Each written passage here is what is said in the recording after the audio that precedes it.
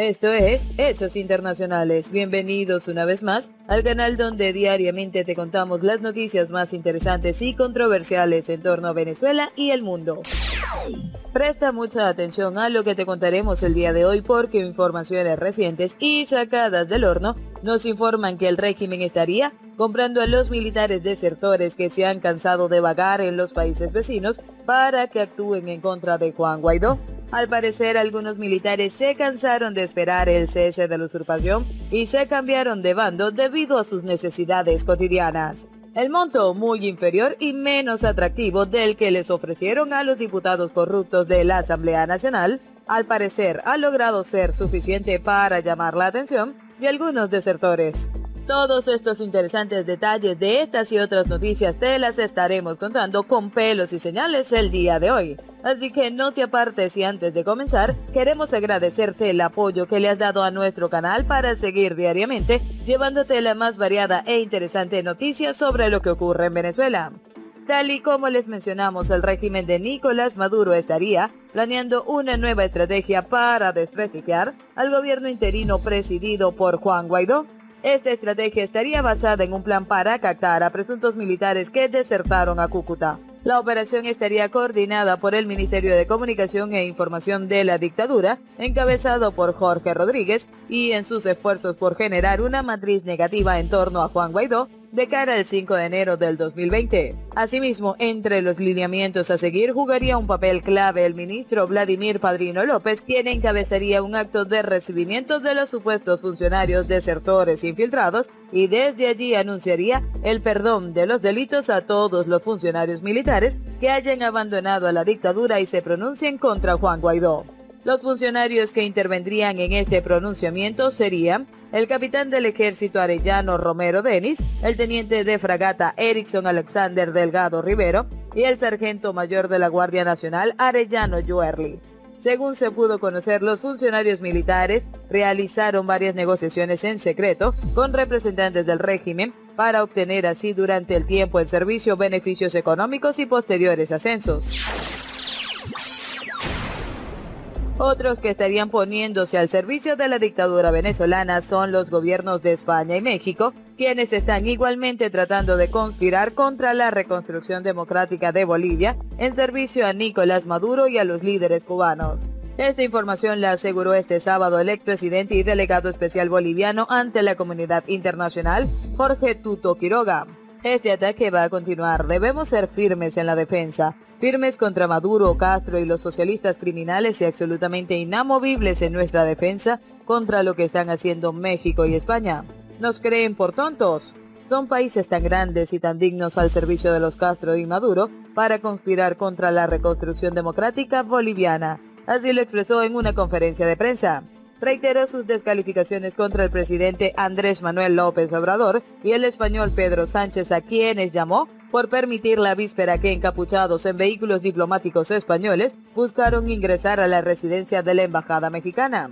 Quiroga adelantó que su país presentará una denuncia ante la Organización de Estados Americanos y el Grupo de Lima por ese hecho que calificó como ataque.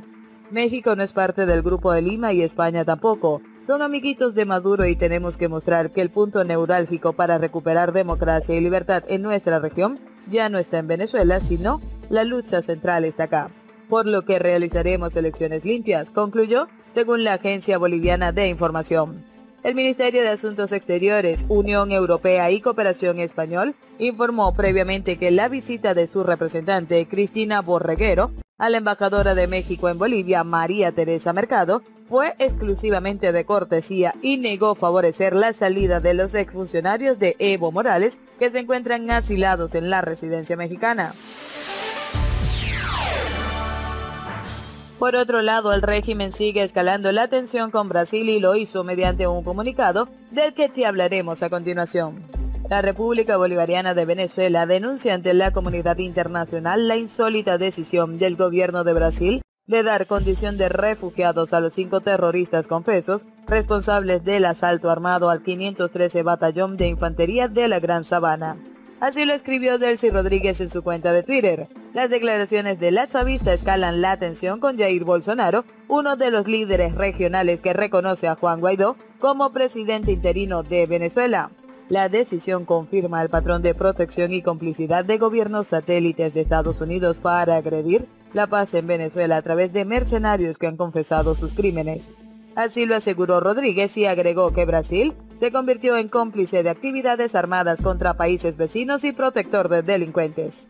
Los dichos de la funcionaria de Maduro llegan después de que el propio dictador chavista admitiera que llegó a evaluar la posibilidad de violar el territorio brasileño para capturar a los cinco desertores a los que su gobierno acusa por el ataque a un cuartel militar en el sur del país que culminó con la muerte de un oficial y el robo de 120 fusiles de asalto y nueve lanzagranadas. Nuestro ejército llegó hasta la línea con Brasil y vio a los atacantes terroristas de aquel lado. Tuvimos un dilema, entrar y capturarlos y traerlos o respetar la frontera y la soberanía con Brasil. Tuvimos un dilema porque el terrorismo no tiene fronteras, dijo el gobernante en su acto de salutación de fin de año a la Fuerza Armada, pero tomamos la decisión correcta de acuerdo al derecho internacional. El territorio brasileño es sagrado.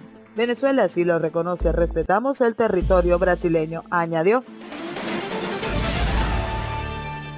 Los cinco militares venezolanos fueron localizados en territorio brasileño el jueves y solicitaron refugio en ese país ayer.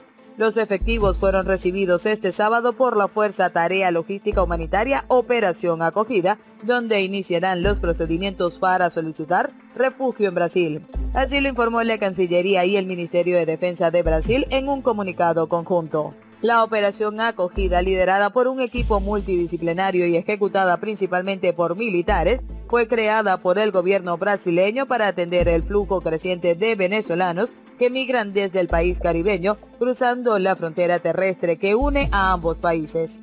Los cinco militares fueron localizados durante una patrulla de rutina en una tierra indígena de nombre Sao Marcos, ubicada en el norte fronterizo estado Roraima, así lo informó Brasilia el viernes. Según este reporte oficial, los oficiales estaban desarmados y fueron conducidos a Boa Vista, capital de Roraima, para ser entrevistados.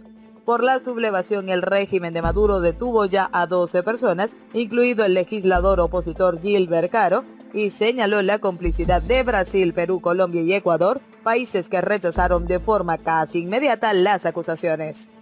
El régimen de Nicolás Maduro anunció este sábado que activó trámites diplomáticos para solicitar a Brasil entrega de cinco militares desertores venezolanos que fueron retenidos en el estado de Roraima y que son señalados por el asalto a un cuartel militar del sur de Venezuela. Ya se han comenzado a activar los trámites diplomáticos necesarios con el fin de solicitar y facilitar la entrega de este grupo de ciudadanos implicados en tan graves hechos, informó la Cancillería venezolana en un comunicado. Venezuela aspira a contar con la mayor colaboración por parte de las autoridades de la República Federativa de Brasil como resultado de la cooperación que debe imperar entre los estados en la lucha contra el terrorismo y las amenazas a la paz social. Se añadió en el documento.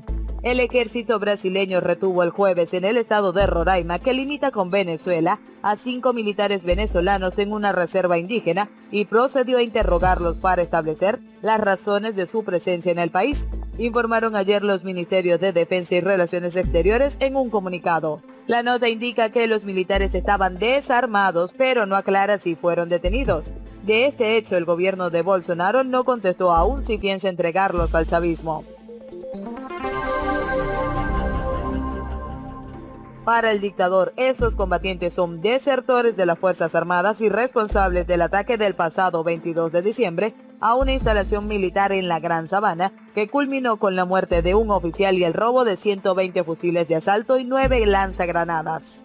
Maduro también acusó a Brasil, Colombia, Perú y Ecuador de haber facilitado el movimiento y entrenamiento del grupo, un señalamiento que estos países rechazaron de forma casi inmediata. El gobierno de Brasil es crítico con Maduro, al que acusa por la crisis de Venezuela que se expresa en escasez cíclica, hiperinflación y un éxodo que la ONU cifra en más de 4 millones de personas. Según cifras oficiales, más de 220 mil venezolanos residen actualmente en Brasil y unos 500 ingresan al país cada día, la mayoría de ellos a través del estado de Roraima. Y con estas controversiales noticias en torno al régimen y sus relaciones diplomáticas llegamos al final del video por el día de hoy. Y antes de despedirnos, por supuesto, te damos las gracias por seguirnos y te invitamos a compartir esta noticia con tus familiares y amigos para que ellos se mantengan también bien informados de las noticias que acontecen en Venezuela y el mundo. Nos vemos pronto. Chao, chao. Esto fue Hechos Internacionales.